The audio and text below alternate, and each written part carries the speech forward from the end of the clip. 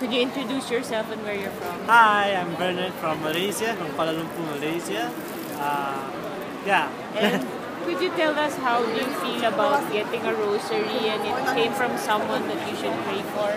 I thought it was pretty meaningful, pretty nice that uh, we get something and then and then we pray for the person in return.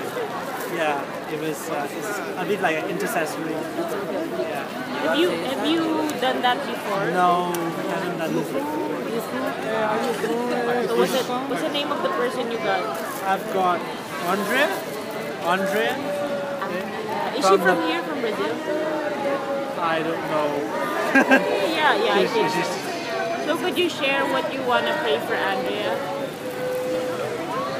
Maybe I'll pray for uh, for better relationship with Jesus through through and by encountering Jesus through the world youth day, through other people, through the relationship with, I mean the contact with other people.